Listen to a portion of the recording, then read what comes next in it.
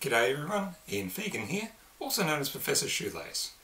Today's video is a decorative lacing method called lattice lacing. Now this has the segments running at a steep angle such that they can be woven through each other like a lattice. Let's look at that firstly on my Ian Shoelace site.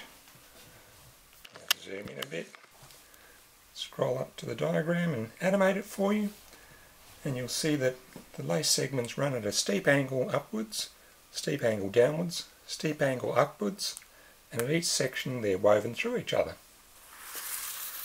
Now let's look at that on a real shoe. I've started with the lacing running straight across the bottom and out through the bottom eyelets. Now I find this easiest to do if you weave one end first, so I'll start by running the right end up by one, two, three eyelets and in through that empty eyelet. Now straight up the inside, out through the next higher one. Diagonally down three and in through that one. Straight up the inside, out.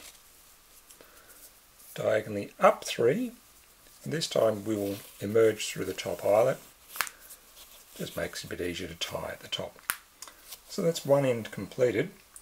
Now we can weave the other end. So we go over, under and over and feed in again through the one, two, three eyelets higher up. Straight up the inside and out. Now we go under, over, under bit of weaving once again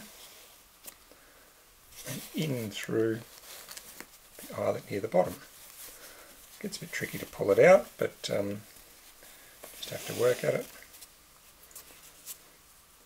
Straight up the inside and finally we go over, under and over again, under the side and out through the top eyelet. There's our finished lattice. We can tie it off using our favourite knot. I'm using my Ian Knot, the world's fastest shoelace knot. And that's it. That's lattice lacing. Hope you enjoyed it. If you want more information on using lattice lacing on different numbers of eyelet pairs, like 7 or 8 or more, you can go to Ian's Shoelace site.